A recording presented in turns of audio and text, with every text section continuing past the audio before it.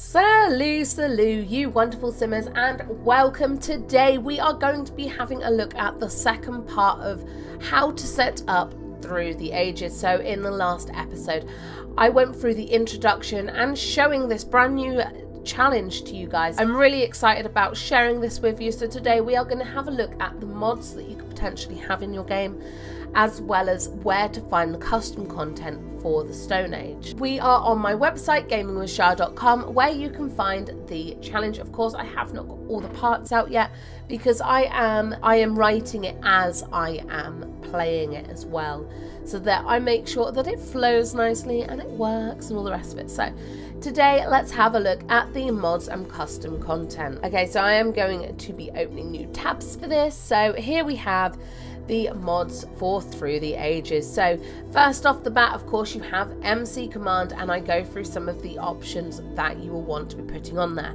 You need to use a computer to get to some of the settings and that's easy enough to do. Just delete the computer once you have finished doing that. Another mod you may choose to have is slice of life. This will just add a lot more realism into the game. However i don't personally want that in the game but if you guys do, there is a link there for it. I am using specifically as one, you have the woohoo part of the MC command, and with that, you can disable try for baby and you can add in a risky element. So every time they woohoo, there is a chance that they could become pregnant. Then you also have the ability to enable auto paying the bills as well as stopping children from going to school and teens. And not only that, but you can control some of the phone usage so you can stop notifications coming through all the time via text. So let's head up. Here is the download. This is going to take you through to the MC Command Center and you're going to go to MCCC Downloads. Okay, so all you're going to do is click on it and click on it and that's going to appear down here. We are going to minimize that and I have my downloads folder as well as my through the ages folder. I will show you where to put this folder at the very end of the video so if you need the path for that then make sure you watch it for there. Okay so if you do not have an unzipping software or whatever it's called there's loads of tutorials on YouTube you just want to type in how to extract on Windows or Mac or whatever you're on. Uh, my computer has one, so I'm just going to go extract and it will just do it for me. So there's that, and there's that one. So that's both of them done. Now you do have to remember that your file depth is a thing. So if, for instance, these were in another folder, then they wouldn't read the game wouldn't be able to read it because there's too many folders to for the program to see them. All we're going to do is drag these into our desired folder name. Right, so that's that done. That is literally the first part. In less than five minutes, I've told you how to install the MC command. Okay, so next we are going to be heading back to the website, to the main page and we are going to go down to the custom content. Now, obviously I've done the history challenge up to generation 5, so these are the places I have found have the best content. Maybe not the easiest to navigate though in some cases. Okay then, so here we are through the ages, historical CC. So I have four different places that I personally find has good content for this. So you have Stacy on Tumblr, and let's go there first. So there are a few bits over here. There's not loads, but there's some stuff. So we have this one, and to download that, we are going to do... Right, where were we? Because there was a spider running across my desk, and the cat just ignored it. Okay, so uh, we're going to download load as a merged file. So let's go ahead and do that. And this will take us through to the sim file share, which I quite like to use. Prehistoric challenge. There we go. And so there's also there's a couple of other bits here. And again, we will download the whole deck. Download that one. Grab that one. Okay, so we are on Amika's website here and so what we're going to do is go down to my cc Under my cc she has a lovely dictionary here, prehistoric, Celtic, ancient Greek, Rome, So obviously for this part we want prehistoric and we're going to go to all. She has an index of all of the mods that are on here but there is no order which is my only complaint. So to bring up this index you need to click on any of the items, go to download and this will bring up the everything that's on here. So for instance we want this loincloth so we will go Control F, which is going to bring up the search bar in the top right hand corner. And if we just type in loin, if I can spell, then you can see it is here. So we can click that and download.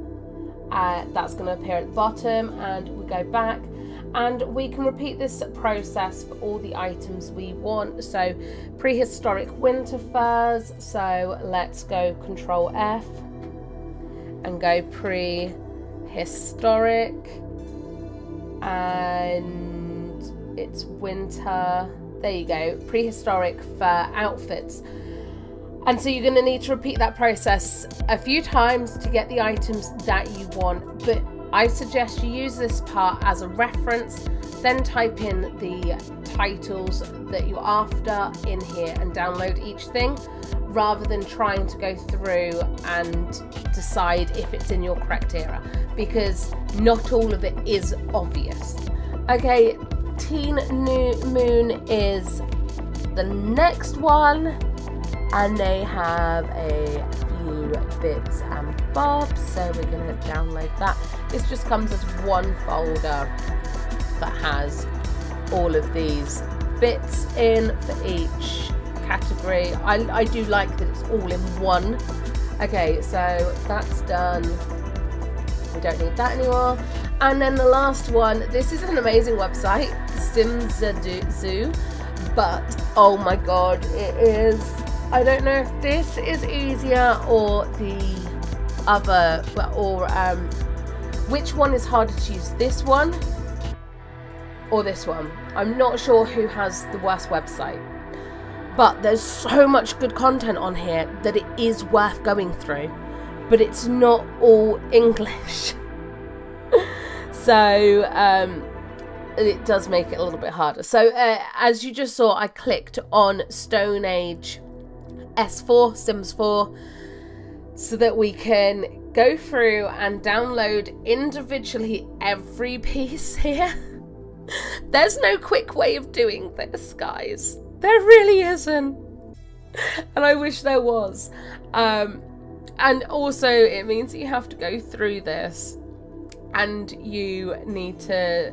Because, for instance, I, um, even though I might not, I do, I have the prehistoric CAS and the prehistoric uh, build and buy. So you have to go through all of these pages twice so that, because obviously when this is for the buy mode whereas this is for the CAS, and it, when it goes in your downloads folder it will just be like this. And so you then have to uh, go through which is painful. Oh dear. So what I'm gonna have to do with this one is you go right click and then you go download. And then you can close that. And you are going to have to do this. Over and over and over again until you get all of the items that you want.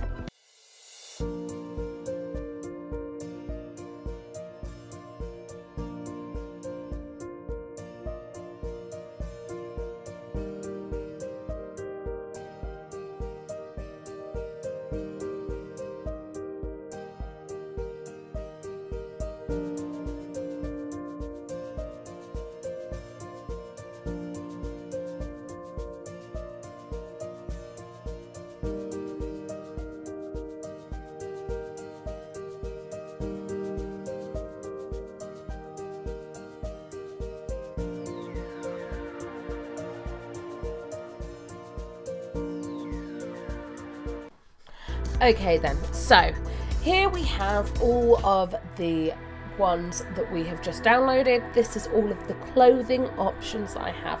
Now I'm just going to go ahead and delete these because I know they don't tend to work.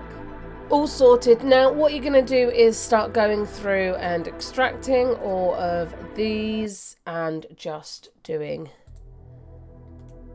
this over and over again until you have done all of them. I will be back once I have finished this. So I'm going to hold and drag and try that again. I'm going to hold and drag and then shift over these two, control, and then delete everything, all the zipped folders because we no longer need them. Okay, next let's just move this over and we have our CAS folder here. So what we're going to do is open folder, drag that out, go back up and delete it. Open that up and drag all of these. These are the ones that we want. You don't need the pictures and things of them. And delete that.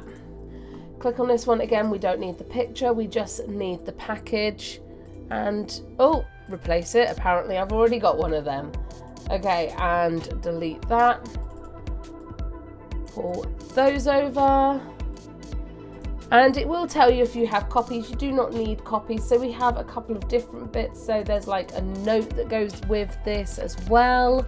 So again, we don't need that. We just drag that one in and delete the remaining of the folder. And we're going to repeat this process over and over and over again. And then what we're to do is when we have finished this, we are to go into the build and buy and we're to repeat the process. We will go over here and we will uh, download all of the items that we want. So you're to want decorative items. Um, there's haystacks in there now, so you don't need to worry about those. And we do have animals in the game, which we'll be unlocking. There's basket supplies, there's different types of beds and stuff, there's carts. All of these things will aesthetically make the world feel more immersive and more Stone Agey and all the rest of it. So then you're going to go ahead and do that. One thing I will also say is some people will feel like they need to have all of these items in separate folders as well. So all of the shoes in one folder, all of the tops in one folder, all the dresses in one folder. That's all well and good if you're playing with loads of different types of CC. Whereas when you're playing with something like this, it's easier to keep them all in small folders. Uh, so it's easier to keep them all in a folder together. So all of your CAS and all of your buy mode because when you go to the next era, you can just pull out this folder and add in the next era really easily. Hey, so there we go. I have an empty folder now. Now I am going to go ahead and download all of the build items that I want off camera. Uh, for now, let's quickly make sure our CC works. Now, Okay then, so now we need to make sure it goes into the correct place. So to do this, we need to navigate to our mods folder. So to do that, you need to go to your documents, electronic arts, The Sims 4, and then mods. I have some of my other mods in here, so I will put these into my mods folder because I have different folders for different types of game that I play. I have this open and I'm going to drag that in there. You will always have this resource folder there. So now they're in the correct place, I can get my studio open. Uh, to download this, it will be in the description below, and that's the Sims 4 Studio. This allows you to look at all of your CC, so I can go to my CC. This is also where a lot of people go to do, uh, to create it's their first step into creating custom content. So as you can see, it's all the different folders in our electronic art folder. So we have our mods and then we have our prehistoric CAS. So we can click on that and it shows our little Simmy wearing the hat. and go down and all we're going to do is go down and make sure all of these are there now what you will find is if it's a broken piece of CC it will have that really weird um, like red and black question mark thing or there won't be anything there at all and it will be like the sims missing a part of their body. You don't want to see that. If you do you can see which folder it is and you can just simply go in and delete it and to do that again you're going to want to if you find a piece that is broken go in there and then just match up what the name is to delete it. And so yeah this is all we're going to do very quickly. And there we have it. That's all the pieces of clothing I have. I think there's a good range of clothing there so that when we are playing we're gonna have you know all the sims will be looking slightly different Okay, so that is it for this episode. As I said before, I'm going to go on and I will uh, download all of the prehistoric build by my items that I want. They're from the same websites again. I'm not using anything differently. And it works exactly the same as your CAS items. If you have enjoyed this, as always, please do like, subscribe, share,